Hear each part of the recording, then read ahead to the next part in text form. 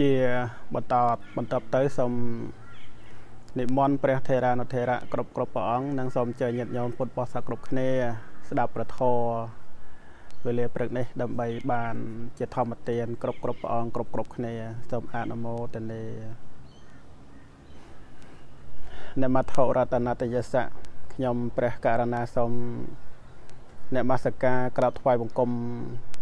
ចំពោះគុណព្រះ សម្មាសម្ពុទ្ធគុណព្រះធម៌គុណព្រះសង្ឃជាអង្គនៃព្រះរតនៈដ៏ដងឧត្តមប្រសើរខ្ពង់ខ្ពស់នៅក្នុងលោកដោយសេចក្តីគោរពនិងដោយសេចក្តីជ្រះថ្លាសូមថ្វាយបង្គំព្រះថេរានុថេរៈគ្រប់គ្រប់ព្រះអង្គដែលមានប្រកដី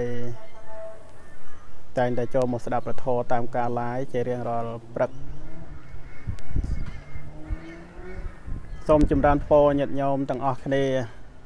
ទាំងនៅប្រទេសអូស្ត្រាលីទាំងនៅប្រទេសកម្ពុជានិងនៅសហរដ្ឋអាមេរិកបង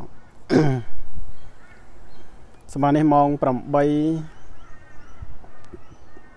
38នាទីព្រឹកនៅ ទីក្រុង Brisbane ប្រទេសអូស្ត្រាលីម៉ោង3កន្លះបងហ្នឹងហើយអាត្មាច្រឡំប្រអាត្មាធ្លាប់ឡាយពេលព្រឹកម៉ោង10 ម៉ោង10នៅពីស្បិននេះបងណាម៉ោង10ជាងអញ្ចឹងទៅនៅកាលីហ្វ័រញ៉ាម៉ោងម៉ោង5បងបើថ្មឡាយម៉ោង10នៅកាលីហ្វ័រញ៉ាម៉ោង5ត្រូវហើយញ៉ោឡើងថ្មនេះម៉ោងម៉ោងម៉ោង3ហ្នឹងហើយណាម៉ោង3នៅកាលីហ្វ័រញ៉ាថ្មនេះម៉ោង3:39នាទីព្រឹកអស់ល្ងាចណាម៉ោង ម៉ោង3:39នាទីល្ងាចបងណែព្រោះពេលខ្ញុំណាត់ស្មាណាឡាយទៅព្រឹកម៉ោង10បើថាម៉ោង10 20នាទីនៅកលីហ្វ័រញ៉ាម៉ោង5 20នាទីល្ងាចហើយបើស្មាឡាយម៉ោង10 20នាទីព្រឹកនៅខាងចរចាម៉ោង8 20នាទី ហ្នឹងហើយហើយនៅខាងខានសាសខាងមនីសតានោះបើបើឡាយនៅនេះម៉ោងម៉ោង10 20នាទីព្រឹកនៅនោះម៉ោង7 20នាទីល្ងាចហ្នឹងហើយណាអញ្ចឹងញោមនៅខាងអាមេរិកពេលល្ងាចនៅខាងអូស្ត្រាលីនៅខាងកម្ពុជាពេលព្រឹកបងហើយព្រឹកនេះខ្ញុំណាត់អាត្មា ឡាយពធព្រឹកបន្តិចដោយសារតែមានធរៈត្រូវទៅទទួលផាត់ថ្ងៃត្រង់នៅវត្តថៃបងម៉ោង9ហ្នឹងចេញទៅវត្តថៃអញ្ចឹងខ្ញុំណាត់ថ្មឆ្លៀតឡាយពីព្រឹកបន្តិចម៉ោង8ជាងម៉ោង8:38នាទីព្រឹកហ្នឹងហើយបានបន្តប្រសូតប៉ុណ្ណានៅក្នុងវេលាព្រឹកនេះម៉ោង អឺរាំងព្រឹកបន្តិចបងព្រឹកនេះស្ថិតនៅ ក្នុងថ្ងៃថ្ងៃ2កើតខែកដិកឆ្នាំជូតតោស័កពុទ្ធសករាជ2564ត្រូវនៅថ្ងៃអាទិត្យទី18ខែតុលា ឆ្នាំ2020បងហើយចម្រើនពោសួរសតុកណា សួរសតុគុណចាស់គ្រប់ព្រះអង្គសួរសតុញាតិញោមពុទ្ធបរិស័ទគ្រប់គ្នាទាំងអស់ហើយជាពិសេសសម្រាប់ពោសួរសតុញោមបាសកបាលហាប់ដែលធ្វើដំណើរទៅកាន់ទឹកដីសហរដ្ឋអាមេរិកពីថ្ងៃមុនខ្ញុំថាអាត្មាអត់ដឹងតែញោមទៅដែរតើទៅដល់អាមេរិកបានដឹងតែញោមទៅបងមិនអីបានជួនដំណើរញោមដែរបង ចឹងញោមទៅដល់អាមេរិកហ្នឹងសុខភាពយ៉ាងណាដែរបងសួរសោតុពីអូស្ត្រាលីទៅបងហើយអឺមុននឹងបានរតនីនៅពធអំពីអាពាធធសោតមកសំដែងជាបន្តណា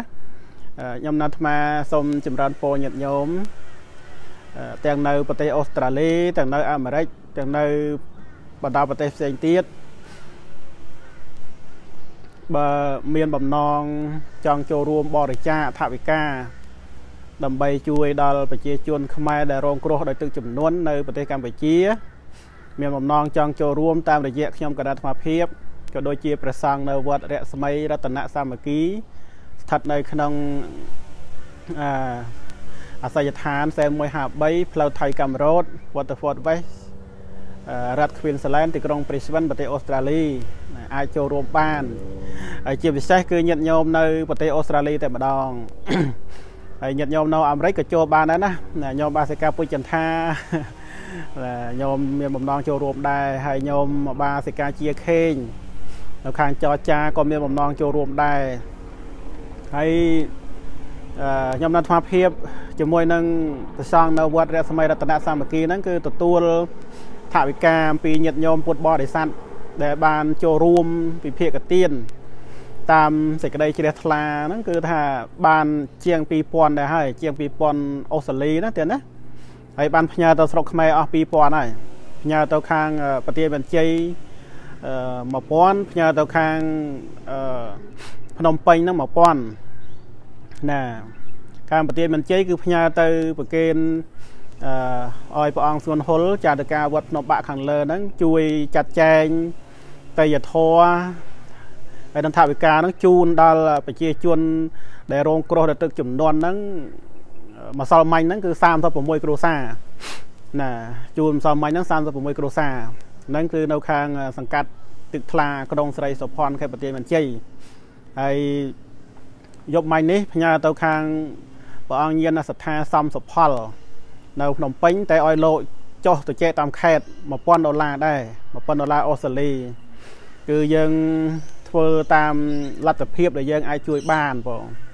ហើយញាតិញោមពុទ្ធបរិស័ទអាចចូលរួមបណ្ដាបណ្ដាអីទៀតមកខ្ញុំណានអាភិបទាំងពីរអង្គហ្នឹងគឺចាត់ចែងផ្ញើទៅបណ្ដាបណ្ដាទៅតាមដែលអាចធ្វើបានហ្នឹងគឺញាតិញោមនៅអូស្ត្រាលីហ្នឹងអាចចូលរួមតាមរយៈប្រសង់នៅវត្តរស្មីរតនសាមគ្គីបានទៅណា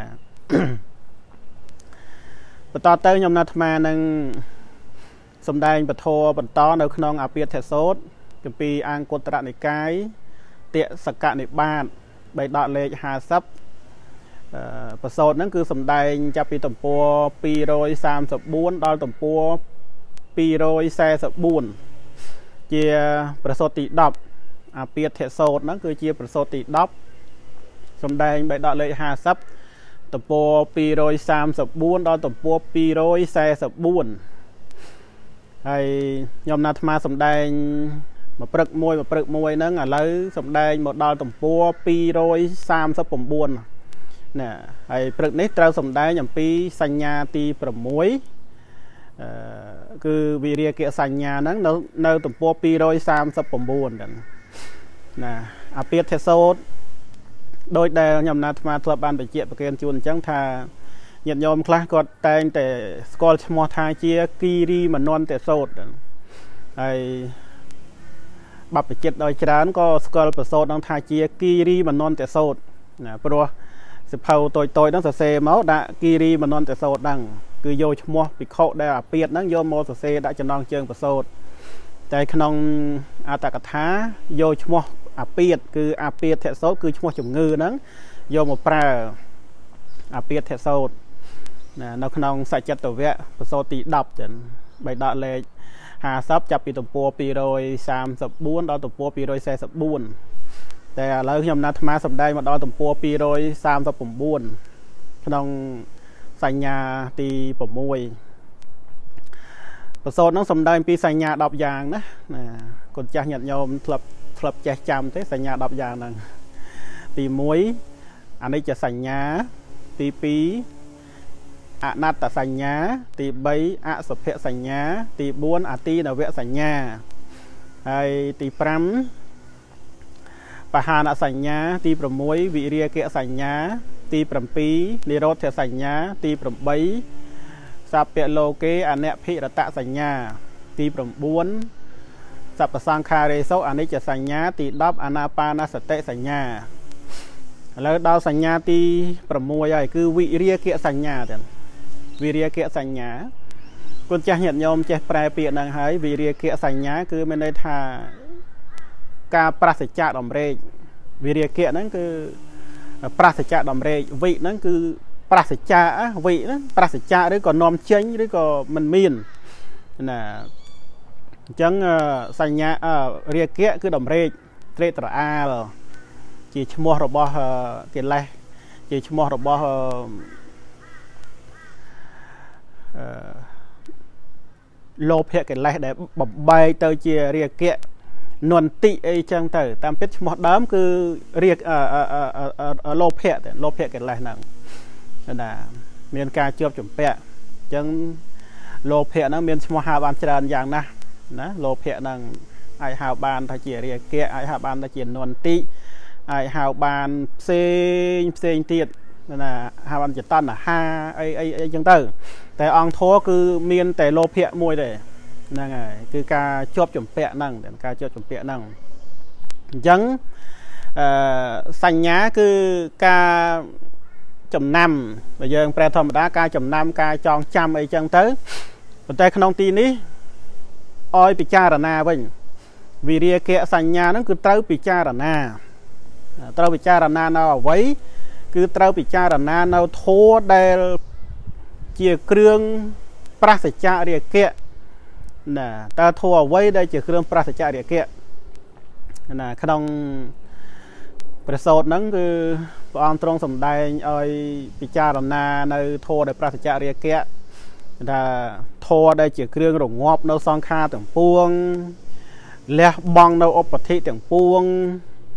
អស់ទៅនៃតណ្ហា ប្រសច្ចរិយកៈ រំលត់ទុកណារំលត់ទុក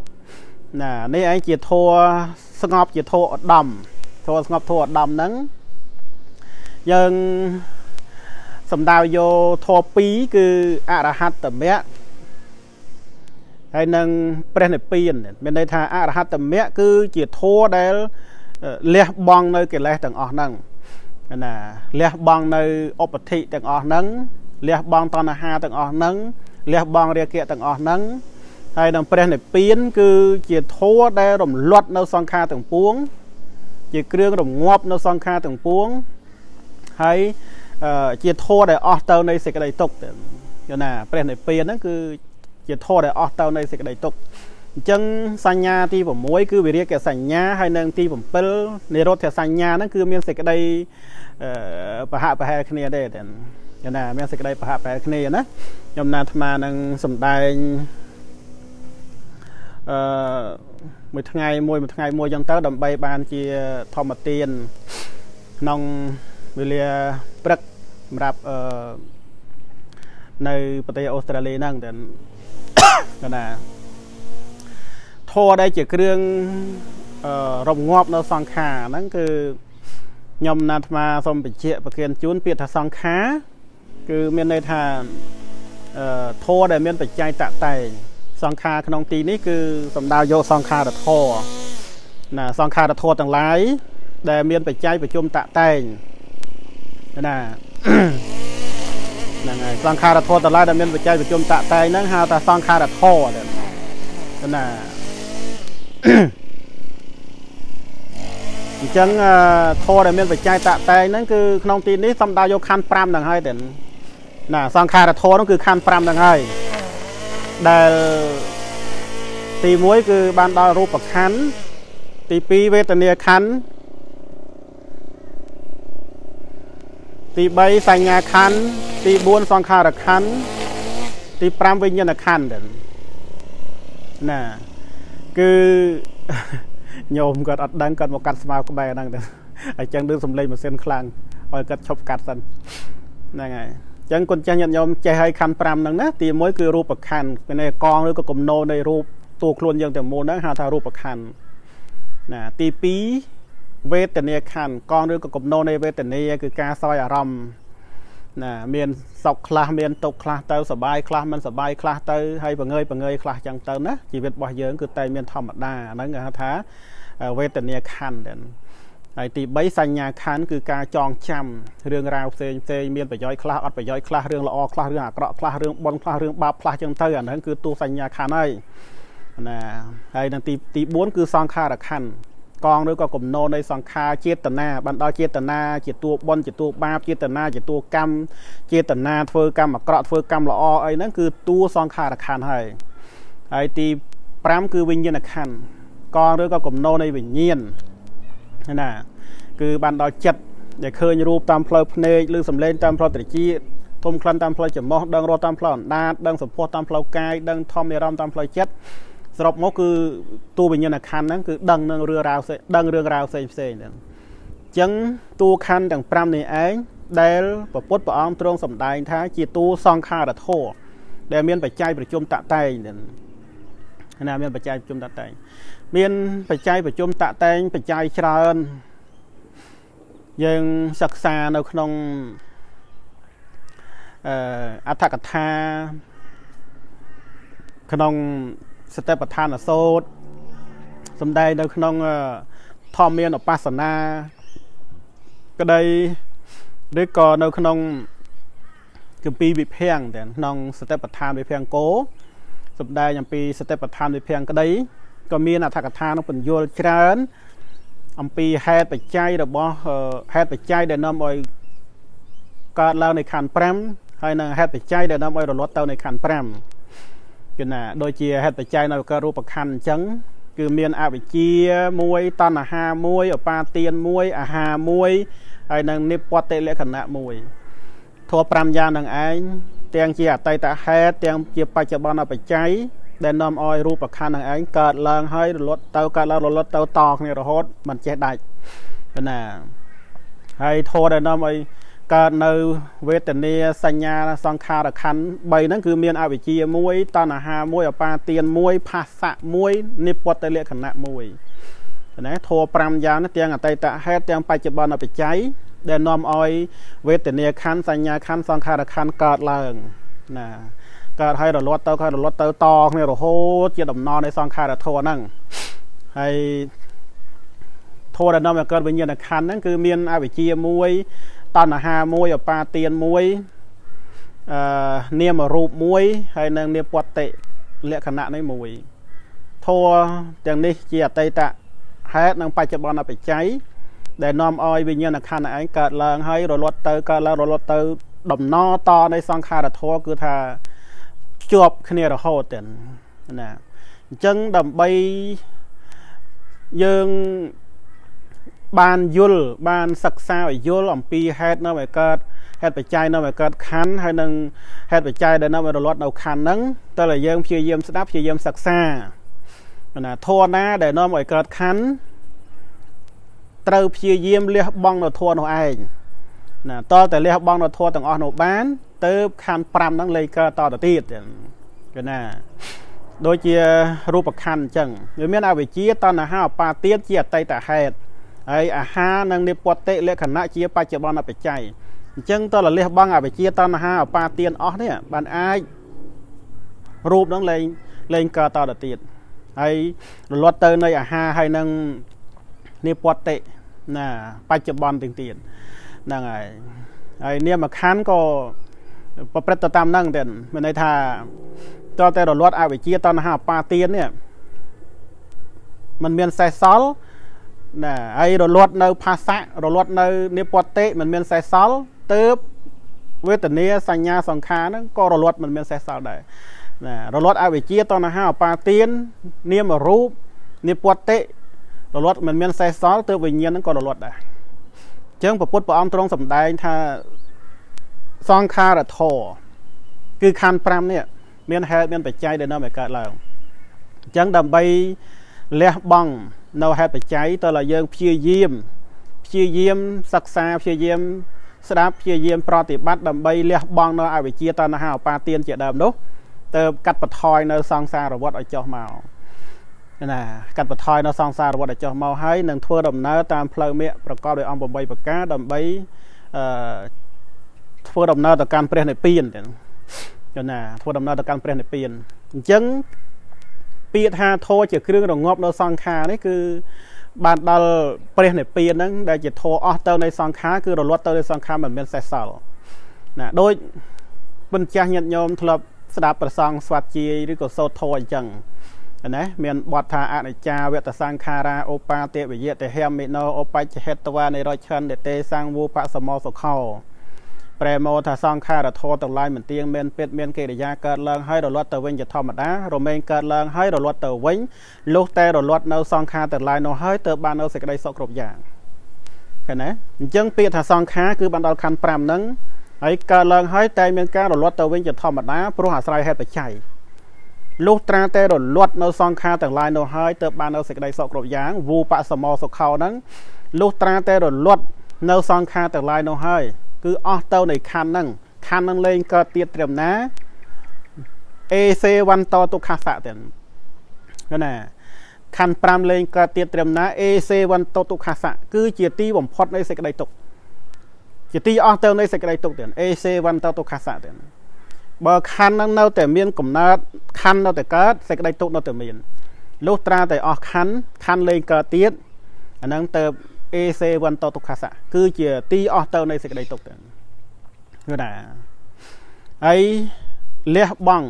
នៅឧបតិណាឧបតិគឺជាគ្រឿងធ្ងន់ឧបតិជាគ្រឿងធ្ងន់ណាញាតិញោមចាំឧបតិក្នុងទីនេះយើងយកទៅ4មកហើយតែក្នុងអឺខតកនិកាយអឺមហានិទេសចលនិទេសអីមានសម្ដែងឧបតិច្រើនប្រភេទ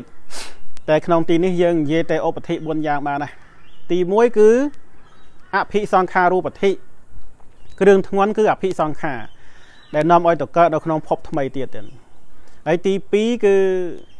ខន្ធធូបកិលេសុបតិកិលេសុបតិហ្នឹងគ្រឿងធ្ងន់គឺកិលេសកិលេសគ្រប់យ៉ាងមានមេកិលេស10ជាដើមហ្នឹងគឺជាគ្រឿងធ្ងន់ណាស់ហើយទី4ទី3ខន្ធធូបតិទៀតគ្រឿងធ្ងន់គឺខន្ធ5ហ្នឹងហើយទី4កាមោបតិកាមោបតិណាកាមោឬក៏កាមោបតិ គ្រឿងធ្ងន់គឺកាមគុណនេះអញ្ចឹងគ្រឿងធ្ងន់នេះគឺមាននៅក្នុងលោកនេះទេមាននៅក្នុងលោកនេះអភិសង្ខារូបតិគឺនាំឲ្យសត្វហ្នឹងទៅកើតនៅក្នុងភពតូចនិងភពធំទៀតអកុសលអបញ្ញាពិសង្ខារហ្នឹងក៏នាំឲ្យទៅកើតអបាយភូមិទៅបញ្ញាវិសង្ខារនាំឲ្យកើតមនុស្សទេវតារូបព្រំទៅអនេនជាវិសង្ខារនាំឲ្យទៅកើតក្នុងអរូបព្រំទៅហើយទៅកើតដល់ណាគឺមានសេចក្តីទុកដល់ហ្នឹងណាអា ហ្នឹងគ្រឿងធ្ងន់ទៀតអភិសង្ខារូបតិហ្នឹងហើយកិលេសុបតិគ្រឿងធ្ងន់គឺកិលេសកិលេសកើតឡើងហើយនាំឲ្យសត្វលោកប្រព្រឹត្តធ្វើនៅអំពើអាក្រក់អាហ្នឹងក៏ជាគ្រឿងធ្ងន់ដែលសត្វលោកមិនអាចទ្របានទេមានន័យថា តែងតែប្រព្រឹត្តទៅក្នុងអំណាចរបស់កិលេសទៅណាហើយខណ្ឌធូបតិគ្រឿងធ្ងន់គឺខណ្ឌត្រូវតែបំរើបើភ្នែកឡើងគឺត្រូវតែបំរើខណ្ឌគ្មានអ្នកណាមួយមិនបំរើខណ្ឌទេអ្នកណាមិនបំរើខណ្ឌខណ្ឌវាយរាល់ថ្ងៃហ្នឹងទៅណា ចឹងបើកភ្នែកឡើងគឺត្រូវបំរើត្រូវងូតទឹកត្រូវជំរាបថ្មិញត្រូវស្លៀកពាក់ខោអាវអោយត្រូវរោមហូបអាហារត្រូវរោចំណីអោយណាឆ្អែតស្កប់ស្កល់ឲ្យគេបញ្ជាឲ្យទៅធ្វើការទៅរោទ្រព្យសម្បត្តិដើម្បីមកចិញ្ចឹមគេទៀតអាហ្នឹងគឺថាខណ្ឌប្រើមួយជីវិត អាហ្នឹងបំរើខណ្ឌរហូតអាហ្នឹងគេហៅថាខណ្ឌធុបតិហើយហើយយើងទាំងអស់គ្នាហ្នឹងគឺជាខ្ញុំបំរើរបស់ខណ្ឌហ្នឹងហើយបំរើហើយចុងបំផុតខណ្ឌ5ហ្នឹងគេប្រើលេខកើតគេសម្លាប់យើងចូលទៀតអាហ្នឹងហើយដែលយើងនៅតែចាញ់បោកខណ្ឌរហូតហ្នឹងឯងអញ្ចឹងយើងត្រូវដឹងថាខណ្ឌ5គឺជាគ្រឿងធ្ងន់ហើយជាគ្រឿងធ្ងន់ដែលយើងត្រូវតែមានដំណោះស្រាយរោផ្លូវដើម្បីគេចចេញអំពីគ្រឿងធ្ងន់ហ្នឹងគឺត្រូវព្យាយាមចម្រើនសិលសមាធិបញ្ញា ដើម្បីរលឹះខ្លួនចេញចាកអំពីខណ្ឌហ្នឹងហើយការមកបតិគ្រឿងធ្ងន់គឺកាមគុណកាមគុណហ្នឹងក៏ជាគ្រឿងធ្ងន់ទាំងរូបសម្លេងក្លិនរសផុតពៈសំដៅយកទ្រព្យសម្បត្តិដែលមានសពថ្ងៃនេះជាគ្រឿងជាប់ចម្ពាក់ជាកាមគុណដែលតែងតែប្រកាសតាមផ្លូវភ្នែកតាមផ្លូវតិចចំោះអណ្ដាតកាយហ្នឹងគឺថាអឺតែងតែចងតែងតែចងសត្វលោកណាចងសត្វលោកទុកដោយ ជាអារម្មណ៍របស់កិលេសទៀតកាមគុណហ្នឹងវាជាអារម្មណ៍របស់កិលេសជាវត្ថុកាមហ្នឹងហើយនឹងជាអារម្មណ៍របស់កិលេសធ្វើឲ្យកើតនៅកិលេសជាប់ចម្ពាក់ជាមួយនឹងកាមគុណហ្នឹងអញ្ចឹងកិលេសកាមគុណហ្នឹងជាគ្រឿងធ្ងន់មួយដែរអញ្ចឹងការដោះស្រាយបញ្ហានៃការជាប់ចម្ពាក់គឺមិនមែនត្រូវទៅបំផ្លាញនៅទ្រព្យសម្បត្តិទៅអីហ្នឹងទេគឺលះបង់នៅកិលេសខាងក្នុងនេះកុំឲ្យជាប់ចម្ពាក់ទៅនៅក្នុងវត្ថុកាមហ្នឹងទៅណា ហ្នឹងគឺគ្រឿងឧបតិហ្នឹងគឺគ្រឿងធ្ងន់បានដល់អភិសង្ខារូបតិគ្រឿងធ្ងន់គឺអភិសង្ខាដែលនាំឲ្យទៅកើតទៀតហ្នឹងណាដែលតាក់តែងនាំឲ្យមានជាតិកំណើតកើតនៅក្នុងភពថ្មីជាគ្រឿងធ្ងន់ទី2កិលេសឧបតិគ្រឿងធ្ងន់គឺកិលេសទី3ខន្ធធុបតិគ្រឿងធ្ងន់គឺខន្ធទី4កាមោបតិគ្រឿងធ្ងន់គឺកាម កាមគុណហ្នឹងណាអញ្ចឹង ព្រះអង្គឲ្យពិចារណានៅវិរិយកសញ្ញាហ្នឹងគឺពិចារណានៅធัวដែលជាគ្រឿងរងាប់នៅសង្ខារទាំងពួងលះបង់នៅឧបតិទាំងពួងអស់ទៅនៅតណ្ហា ប្រសច្ចៈរាគៈ រលត់ទុកនេះជាធัวស្ងប់ជាធัวឧត្តមណាគឺបានដល់ព្រះនិព្វានដែលជាធัวស្ងប់នៅសង្ខារទាំងពួងជាធัวអស់ទៅនៃសង្ខារទាំងពួងអស់ទៅនៃតណ្ហាជាទីរលត់ទុក អស់ទៅនៃឧបធិទាំងឡាយគឺបានដល់ព្រះនិព្វានហ្នឹងឃើញណាហើយការលះបង់ឧបធិហ្នឹងក៏ត្រូវមាននៅអរហត្តមគ្គហ្នឹងដើរតួកំចាត់បងនៅកិលេសឧបធិកំចាត់បងនៅអភិសង្ខារូបធិណាកំចាត់បងនៅកាមោបធិណាហើយនឹងអឺកំចាត់បងនៅខណ្ឌធុបធិទៀតមានន័យថាផ្ដាច់នៅអឺ កម្មដែលនាំឲ្យបង្កើតនៅខណ្ឌនៅក្នុងភពថ្មីទៀតគឺអត់មានទេអញ្ចឹងអាអរហត្តមគ្គនឹងត្រូវផ្ដាច់នៅឧបធិទាំងអស់នឹងហើយបាន ចូលដល់ព្រះនិព្វានដែលជាគេថាឧបធិវិវេកទៀតណាឧបធិវិវេកហ្នឹងគឺជាឈ្មោះនៃព្រះនិព្វានតែអញ្ចឹងព្រះអង្គឲ្យពិចារណានៅធម៌ហ្នឹងវិរិយកសញ្ញាទី6នេះណាព្រះអង្គឲ្យពិចារណានៅធម៌ដែលជាទីរងាប់នៅសង្ខារទាំងពួងធម៌ដែលជាទីអស់ទៅនៃសេចក្តីទុក្ខប្រសច្ចៈរាគៈណា ឲ្យពិចារណាថានឹងហើយជាធម៌ស្ងប់នោះហើយជាធម៌ដកឧត្តមគឺជាឈ្មោះរបស់ព្រះនិព្វានដែលហៅថាវិរិយកសញ្ញាហ្នឹងទៅនឹងខ្ញុំណាអាត្មាអឺសំដែងមកប៉ុណ្ណឹងទេដោយសារតែណាអស់ម៉ោងហើយអស់ម៉ោងសំដែងហើយហើយអឺព្រឹកនេះគឺដោយបានបញ្ជាក់អញ្ចឹងថាសំដែងអំពីសញ្ញាទី6ក្នុងបណ្ដាសញ្ញាទាំង10គឺសំដែងសញ្ញាទី6គឺវិរិយគសញ្ញា ណាគឺធម៌ដែលប្រសច្ចៈដំរេកជាគ្រឿងរងាប់នៅសង្ខារទាំងពួងលះបង់ឧបធិទាំងពួង រលត់ទុកណាគឺបានដល់ព្រះនិព្វានឲ្យពិចារណារឿយៗអញ្ចឹងទៅ ដើម្បីយើងមាននៅសេចក្តីជ្រះថ្លាសេចក្តីពេញចិត្តក្នុងការប្រព្រឹត្តប្រតិបត្តិធម៌ធ្វើដំណើរទៅកាន់ទីដំណត់ទុកគឺធ្វើដំណើរតាមមគ្គប្រកបដោយអង្គ8គ្រប់ព្រះអង្គគ្រប់គ្នាតែណាណាដោយសារតែព្រឹកនេះខ្ញុំនៅអាត្មាមានធុរៈអឺជា ទទួលនិមន្តទៅវត្តថៃវត្តថៃពុទ្ធារាមហ្នឹងថ្ងៃនេះថ្ងៃកឋិនវត្តថៃបងអញ្ចឹងប្រសងវត្តថៃនិមន្តប្រសងវត្តខ្មែរយើង ទៅចូលរួមបនកឋិនហើយនឹងទៅទទួលផាត់ថ្ងៃត្រង់នៅទីនោះអញ្ចឹងត្រូវចេញពីវត្តទៅម៉ោង9អញ្ចឹងដល់ម៉ោងហើយខ្ញុំណាត់អាត្មាបញ្ចប់ការសម្ដែងនៅពធឡាយពធនៅក្នុងវេលាប៉ុណ្ណឹងទៅហើយសូមប្រកេនបន់ជូនបន់ដល់ព្រះថេរានុថេរៈគ្រប់ព្រះអង្គ ជូនបន់ញាតិញោមពុទ្ធបរិស័ទគ្រប់គ្នាជ្រះថ្លាអនុមោទនាបានចំណែកធម្មទាននៅក្នុងវេលាព្រឹកនេះណាគ្រប់ព្រះអង្គគ្រប់គ្នាទាំងសូមអនុមោទនា